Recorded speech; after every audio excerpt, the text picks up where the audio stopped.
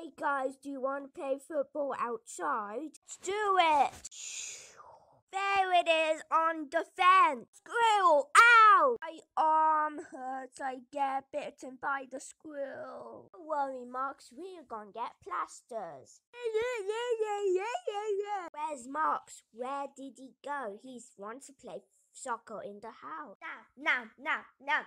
I got this pill thrown in his mouth to make him better. Thank you guys to make me better.